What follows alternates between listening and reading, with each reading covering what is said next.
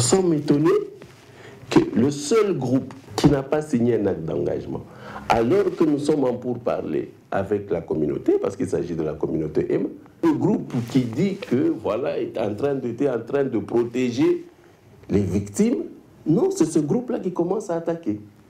Alors on se pose la question, comment un groupe qui disait se protéger aujourd'hui commence à aller vers d'autres communautés pour aller tuer C'est ça la grande question. Mais nous avons une réponse parce que nous avons euh, l'information. Il s'agit de Kawa Mandro, chef euh, de Baema Banyagi, qui est en fuite, où il est en train de recruter pour des motifs qu'il connaît et que tout le monde connaît aujourd'hui. Parce qu'il parle de la balkanisation.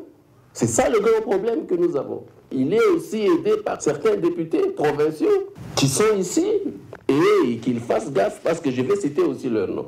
Nous, nous sommes déterminés, nous, nous sommes le gouvernement, que ce soit d'ailleurs le Codeco ou qui que ce soit, ou FPIC, FLPI, c'est lui qui va encore essayer de reprendre les armes. Nous allons agir. C'est le moment, montrer au monde que, voilà, aujourd'hui, nous les citoyens, nous, nous avons pris conscience, nous avons arrêté avec cette chose-là. Et arrêté d'être en connivence avec ces bandits-là. Ce sont des bandits. Qu'est-ce qu'ils vous donnent en retour? À part détruire le pays comme ils l'ont fait depuis 20 ans.